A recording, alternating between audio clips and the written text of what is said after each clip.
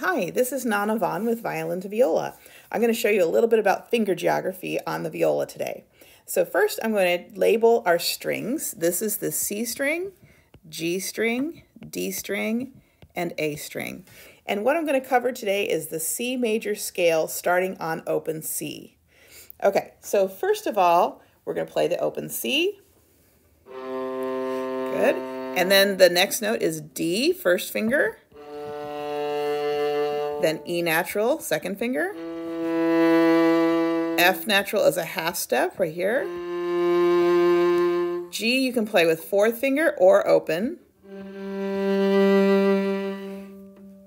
A is first finger.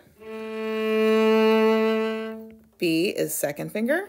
And then C is a half step right there. D is either fourth finger or open.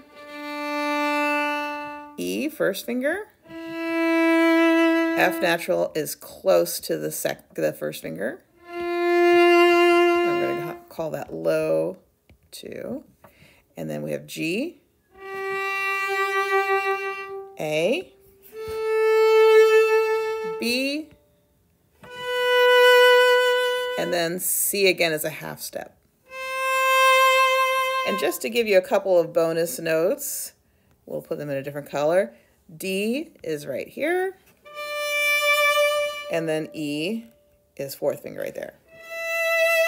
But those are not actually part of a two octave C major scale. So we don't normally play those in the C major scale.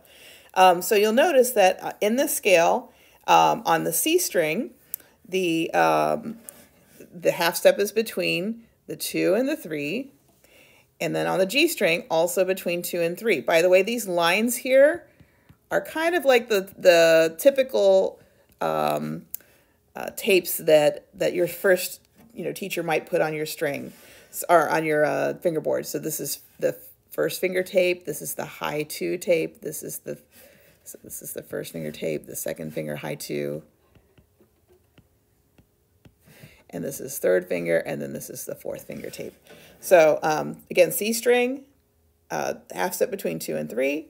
G string, also half step between two and three. D string, half step is between one and two here. And then A string, also between one and two.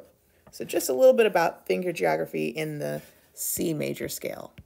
If you'd like to get one of these finger charts for yourself, you can download them on our webpage, which is www violin2viola.com, and that's a two, the number two. So violin number two, viola. All one word, dot com. Thanks so much.